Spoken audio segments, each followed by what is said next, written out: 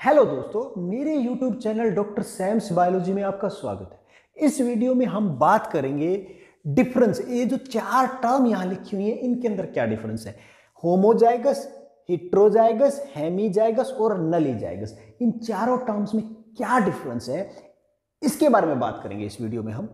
तो पहले हमें पता होना चाहिए डाइप्लॉइड ऑर्गेनिज्म जो होते हैं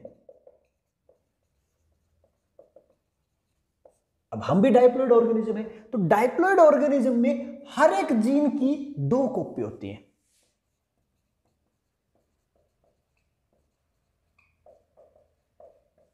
तो हर जीन है, हर जीन की दो कॉपी है। अब देखिए, यहाँ पे मान लीजिए ये क्रोमोजोम है, इसका होमोलोगस क्रोमोजोम दूसरा है तो एक कॉपी यहाँ है मान लीजिए तो इसी जीन की दूसरी कॉपी दूसरे इसके होमोलोगस क्रोमोजोम पे होगी। तो यहाँ पे दो कॉपी है। मान लीजिए ए ए। तो हर एक जीन की दो कॉपी है और वो होमोलोगस क्रोमोजोम पे प्रेजेंट होती है। डाइप्लॉइड ऑर्गेनिज्म है, हर एक डाइप्लॉइड में एक जीन की दो कॉपी तो अब हम बात करते हैं हमारी पहली term homozygous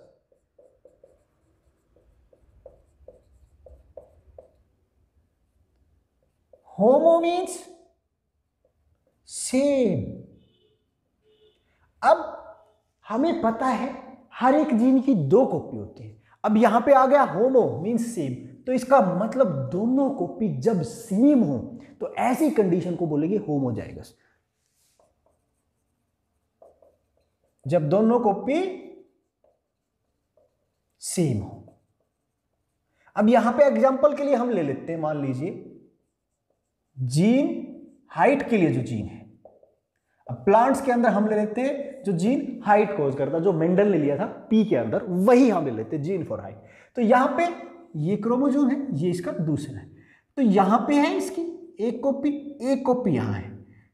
और दोनों कॉपी सेम है, जैसे कैपिटल टी कैपिटल टी और इसका अलग भी हो सकता है.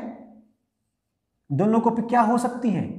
स्मॉल टी स्मॉल टी तो यहाँ पे देखिए, दोनों कॉपी सेम है, यहाँ पे भी दोनों कॉपी क्या है? सेम है। जब दोनों कॉपी सेम हो तो कंडीशन क्या हुई? होमोजाइगस तो हमारी पहली है होमोजाइगस अब आ जाते हैं दूसरी टर्म पे।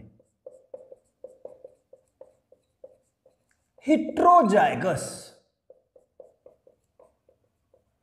हिट्रो मीन्स डिफरेंट अलग।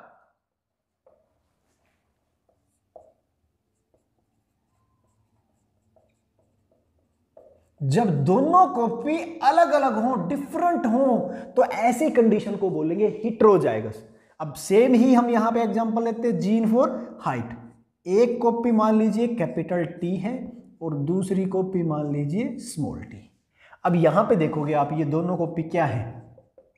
डिफरेंट है। तो डिफरेंट है तो क्या कहेंगे? हिट्रोजाइगस इस कंडीशन को बोलेंगे हिट्रोजाइगस अब आ जाते हैं हमारी तीसरी टर्म पे हम। तीसरी टर्म है हमारी हेमीजाइगस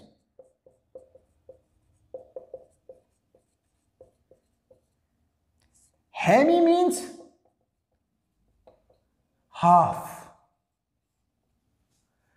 अब हाफ़ किसका? हमें पता है डाइप्लॉइड ऑर्गेनिज्म के अंदर दो कॉपी होती है। दो का हाफ़ कितना हुआ? एक। सो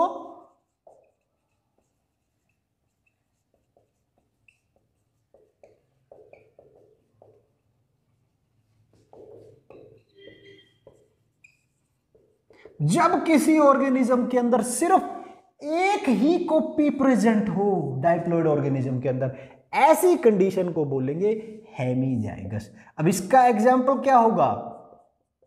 Human male. मेल के केस में हमें पता मेल क्या होता है? एक्स और वाई। तो मान लीजिए, ये एक्स क्रोमोजोम है और ये वाई। अब मेल के अंदर एक्स की एक ही कॉपी होती है और वाई की भी एक ही। दोनों की क्या क्या है? एक एक कॉपी है। तो अब एक्स क्रोमोजोम के ऊपर जितने भी जीन होंगे, क्योंकि इसकी खुद की एक ही कॉपी है तो जितने भी जीन होंगे, सभी जीन्स की क्या होगी कॉपी सिंगल कॉपी होगी।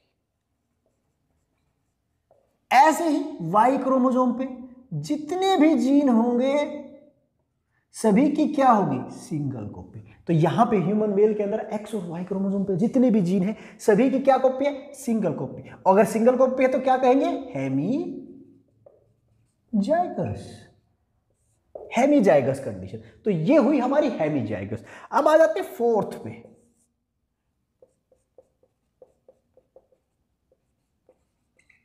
नली जाइगस नली जाइगस वर्ड है नल से. नल मीन्स नन मतलब एक भी नहीं, जब एक भी कॉपी नहीं है,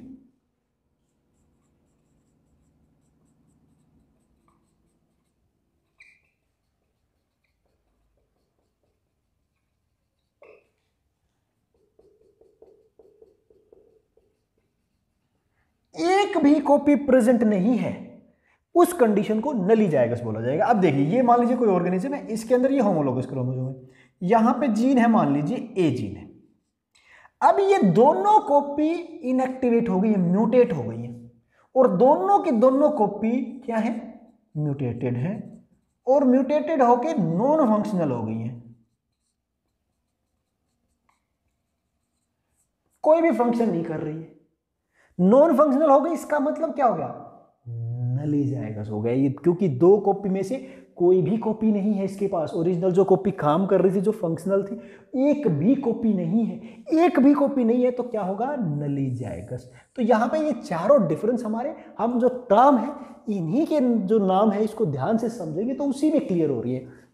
होमो सेम सबसे पहले ये चीज़ याद रखिए डाइप्लॉइड ऑर्गेनिज्म है, उसके अंदर दो कॉपी होती है। अब दो में होमो सेम दोनों सेम हिट्रो दोनों अलग अलग हैमी हाफ़ दो कॉपी होती नॉर्मल, लेकिन यहाँ पे क्या है? एक ही कॉपी है तो हैमी जाएगा नली, नन, नॉर्मली दो होते हैं, लेकिन कुछ कंडीशन में जब दोनों ही इनएक्टिव होगी तो एक भी नहीं है, एक भी नहीं है तो नली जाएगा तो ये डिफरेंस है इन चारों टर्म्स में।